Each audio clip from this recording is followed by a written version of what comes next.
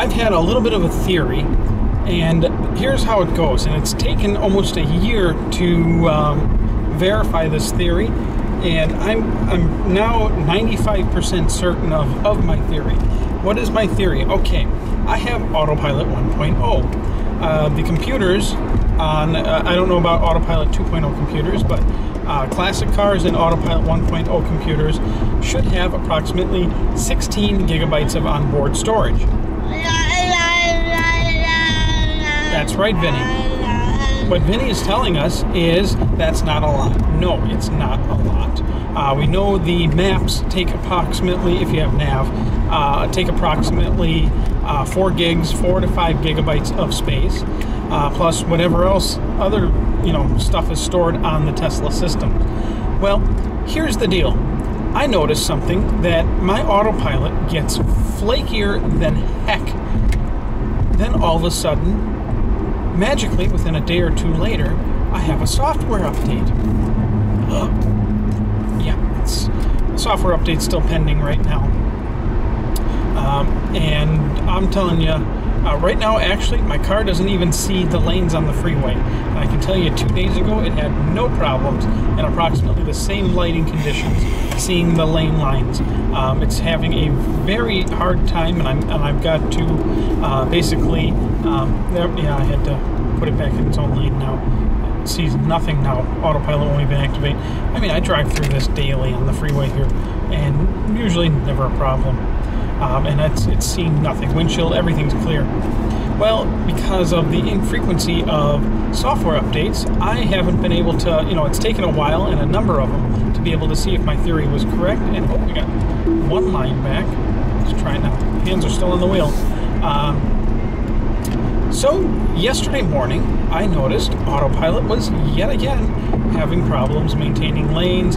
It was swerving, or, uh, or, or as most people say, ping ponging. Well, um, I had to drive back to Milwaukee yesterday from Wisconsin Dells, and it was doing just a craptastic job of autopiloting. Uh, uh, wouldn't you know, today, um, after we came out of uh, a shipping store.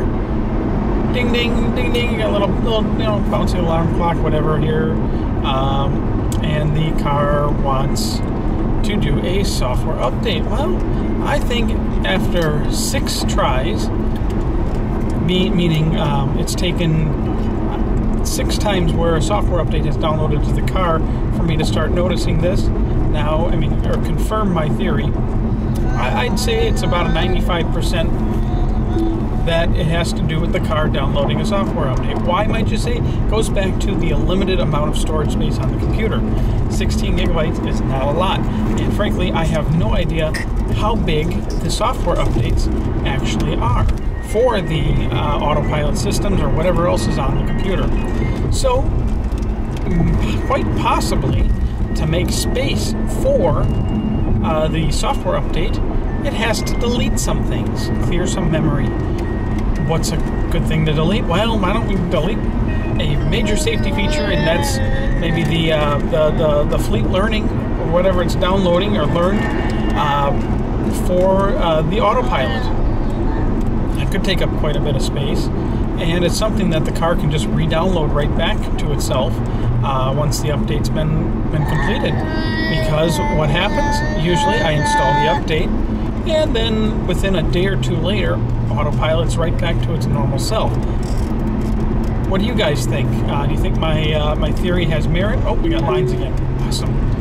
Because I really hate driving this stretch of freeway without autopilot. So, um, weigh in your opinions. Do you think it makes it's uh, it's plausible?